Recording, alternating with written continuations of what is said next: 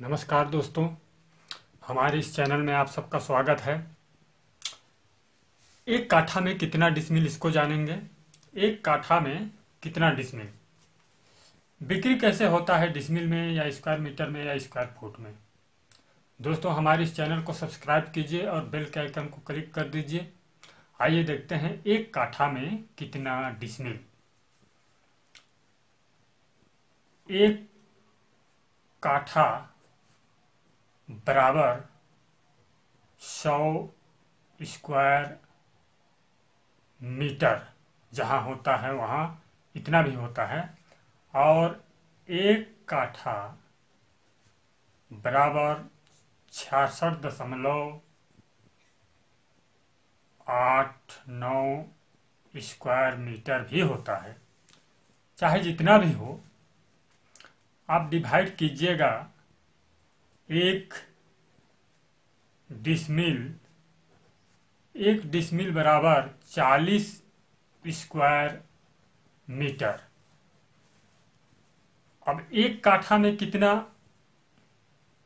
Decimal जानने के लिए सौ मीटर को लेते हैं? एक काठा एक काठा बराबर हंड्रेड बाई फोर्टी, सौ बटे चालीस बराबर।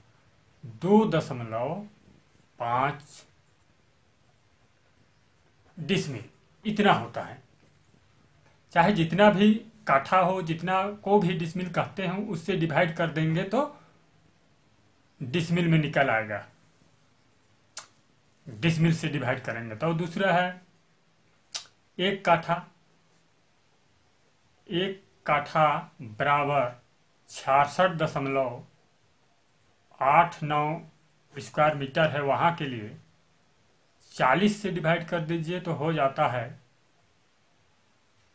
एक दशमलव छ सात दो दो पाँच डिसमिल डिवाइड कर लीजिएगा, इतना होता है। बहुत ही आसान है। छियासठ दशमलव आठ नौ बटे चालीस बराबर एक दशमलव छ सात दो दो पाँच डिसमिल। बहुत ही इजी है। दोस्तों, इसको यदि वर्ग फुट में रहेगा, फिर भी आप जानेंगे। सबसे पहले आप वर्ग को जानिए, वर्ग मीटर को जानिए। एक वर्ग मीटर बराबर एक मीटर बराबर एक मीटर बराबर होता है फुट में तीन दशमलव दो आठ फुट।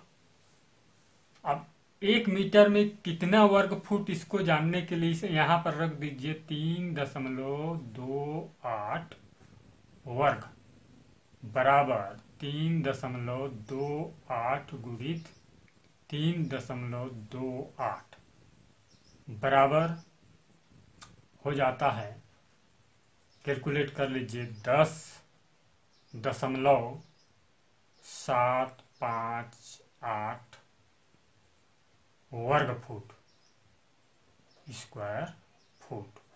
इस प्रकार से।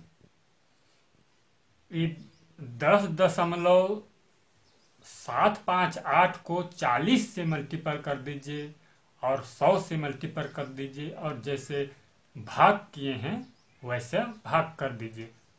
इससे भी जो है दो दशमलव पाँच डिसमिल ही निकलेगा। एक काठा बराबर सौ स्क्वायर मीटर वाला। और सेकंड क्वेश्चन है, बिक्री कैसे होता है? डिसमिल में या स्क्वायर मीटर में या स्क्वायर फुट में? दोस्तों, एक डिसमिल एक डिसमिल बराबर ज़ीरो दशमलव ज़ीरो ज़ीरो फोर हेक्टेयर होता है।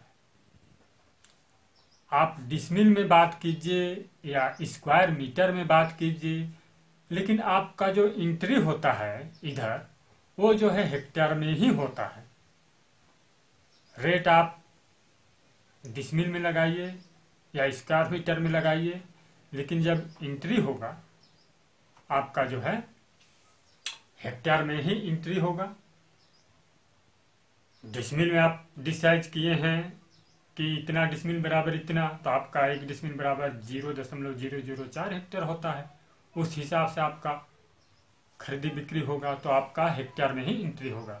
दोस्त, हमारे इस चैनल को सब्सक्राइब कीजिए और बेल के आइकन को क्लिक कर दीजिए। धन्यवाद।